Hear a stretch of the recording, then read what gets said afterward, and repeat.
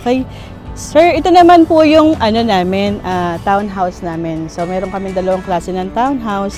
Meron kaming end unit, yung tinatawag na Manor Lux End, at saka yung inner unit na yung madalas naririnig nyo na Manor Classic Inner. So, so ngayon po, ah, ang puntahan muna natin is yung Manor Classic, ah, ay sorry, Manor Lux End. So, sir, dito sa Manor Lux End namin, so yung garahe nyo nasa harap na din, may lot area po siya na 66 square meter. Tapos yung bahay po natin is 50 square meter. So 25 sa baba, then 25 din sa taas. Tapos, uh, as you can see sir, meron tayong extra lot doon, no? So pwede tayong uh, mag-expand doon. So pwede nyo gawin siyang uh, uh, dirty kitchen nyo or pwede rin pwede rin yung gawing garahe din. Kung meron kayong maliliit na sasakyan, so kasya po siya doon. Yes, pwede rin storage area, sir. Dito rin, pwede rin kayong mag-fence dito, then pwede rin kayong magbubong. So, pwede nyo bubungan. Ito, sir, pasukan natin yung loob. So, same lang din, sir, nung mansion duplex natin, yung passage niya, meron ng kasamang ilaw. Yan. So, yan, sir. Naka, ano na rin po siya, naka-tiles na din, then naka-pintura na din yung mga walls natin.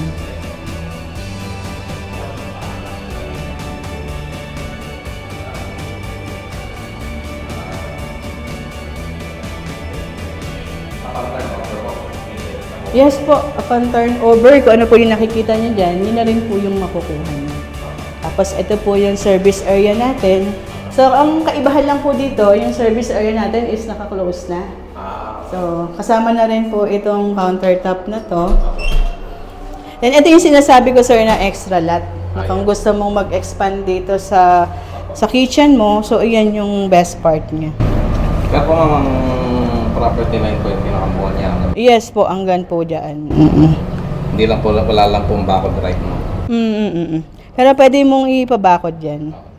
So dito, regarding naman po sa construction band, no, ah, dito po, ah, 10% po ng mga gamit na ipapasok nyo. Let's say, ah, naka 100,000 yung, yung bill ng materials, so 10% po nun, yun po yung construction ban. So, refundable naman po yun. Ah, yung con- construction pad po is 10% po. Yes po, yes. mm Pero refundable naman po siya. Ayun, sir. Bale, ito po eh, parang dirty kitchen or slash kitchen na rin po. Opo. Then sir, ito po yung CR natin. Complete finish na rin siya. Ah, naka-tiles na rin from flooring to ceiling. And kasama na rin po yung shower. Mm. Ganon din po itong ano natin, ah, hagdanan natin. Ah, ah. Ah, cement fiber po yung ginamit dyan. Mm, So wala tayong ginamit na kahoy dito. Opo. Mm. Kaya siguradong walang aanayan po dyan. Sige, panik tayo sa taas. eh.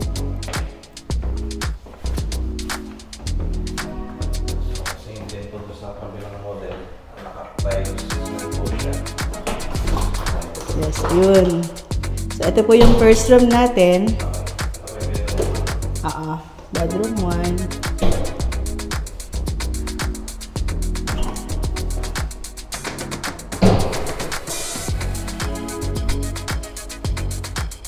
Ito yung master bedroom. Oo. Din sir, pasukin natin yung master bedroom. So sa master bedroom, meron po siyang maliit na balcony dito. Ayan. So habang nandito kayo ni Mr., so meron kayong balcony dyan.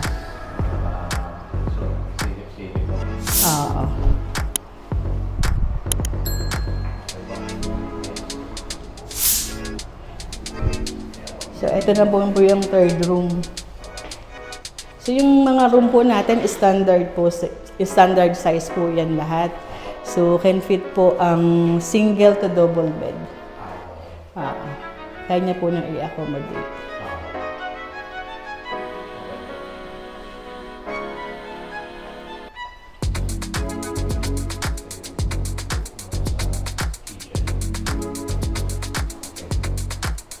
Then, ito naman po yung second ah, toilet and bath natin. Yes po. Complete na rin siya. Ah, lipat po tayo dun sa Manor Classic Inner. Okay? Okay, sir. Ito naman po yung Manor Classic Inner natin. So, dito, ah, ang floor area po natin is 50 square meter, then ang lot area is 50 square meter. So, yung garahe niyo po is nasa harap na. So, yun po.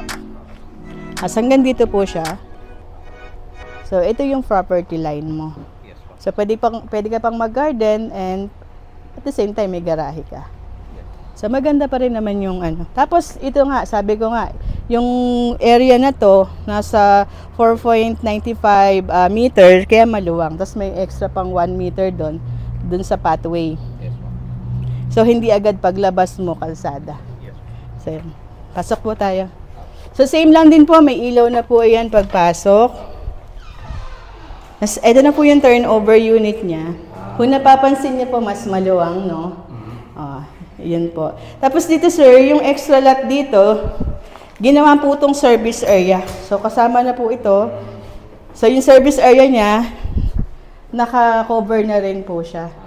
So, pwede din yung pang pataasan yan, ipa-close nyo. Pwede yan. Okay. Tapos kasama na yung lababo. Pwede nyo gawing, it- ito na yung pinaka-kitchen nyo. Oo. Pag kinover mo yan, lagyan mo lang ng mga cabinet. Tapos sa, sa side na yan, yung labahan nyo. Yes. Okay. Mm-mm. Nice. Okay. Tapos sir, dito naman, ay din po yung CR natin, complete finish na rin. So same lang ng mga ibang bahay.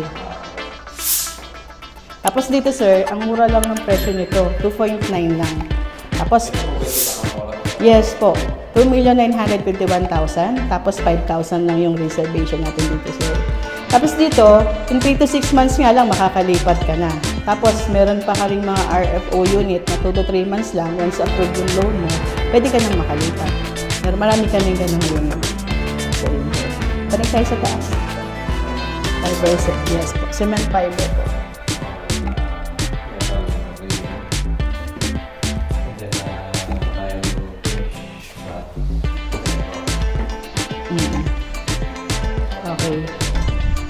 Master bedroom po. Same lang po nung engineer natin, meron pong balcony. Ready na rin po yung lalagyan ng alta natin. Mm. So dito, yung turnover nito, as in lilipat na lang kayo, wala na kayong ipapagawa.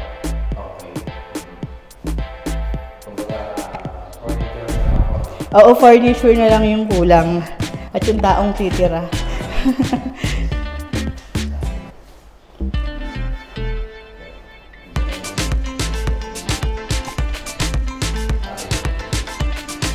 bedroom po.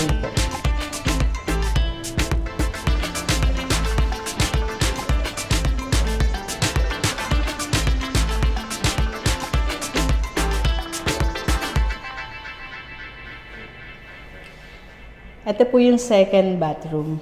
Yung toilet and bath natin. Kaya dito may bintana. Mm Madaming kumukuha ng ganitong unit. Kasi nakikita nila mas ah, okay din naman, maluwang. Oo, mura siya. Ayun. So dito po, mura lang ang monthly amortization nito. So nasa 20,000 lang naman yung magiging monthly mo if ever. Tapos may ganito ka na bahay. Hmm. Tapos ah, dito kasi reservation 5,000 lang sa ganito kagandang bahay. Magkakaroon ka na, di ba? Tapos sa iba, may processing fee. Pero kami walang processing fee. Mm Libre ang ano. Tapos minsan, nag, magbibigay din kami ng mga free appliances. Pag natapatan yung meron, swerte. Oo. so, yun. So, yun, sir. Ah, sabi ko nga kanina, lahat ng walls natin gawa sa precast. Kaya siguradong matibay po yung mga wall natin. Yun naman talaga yung hinahanap yung mga nag-acquire ng mga bahay ngayon. So, kailangan talaga, pag nag-invest sila, eh, value for money talaga yung mga binibili. So, kaya po, ah, yun, masasabi ko, na Seria po talaga is the best dito sa Bulacan.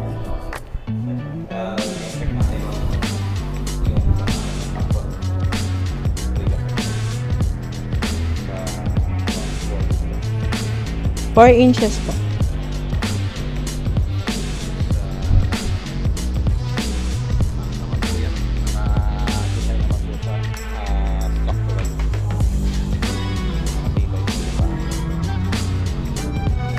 Ah, siya nga pala ma'am, ah, hindi po ba nagpapaha dito? Ayun sir, flood free po tayo. So yung iba kasi akala pag pag sinabi uh, going to Baliwag, Baliwag to Candaba. Candaba po kasi binabaha talaga yan. So parang sa dinig nila, ah binabaha. So hindi po tayo binabaha. Dito po, ah, kung bahain man tayo, ah, I mean, kung bahain man yung part na yan, malabo pong makapasok dito.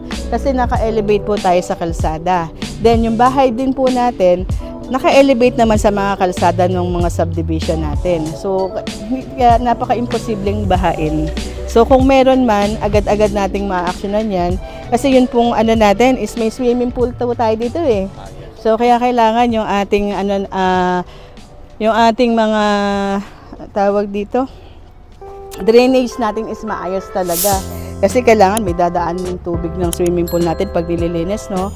Tapos sir, dito ang kagandahan dito sa area natin, meron po tayong clubhouse, may swimming pool, meron po tayong ah, mini chapel, then meron po tayong playground, tsaka yung mga open spaces na pwede niyong gamitin.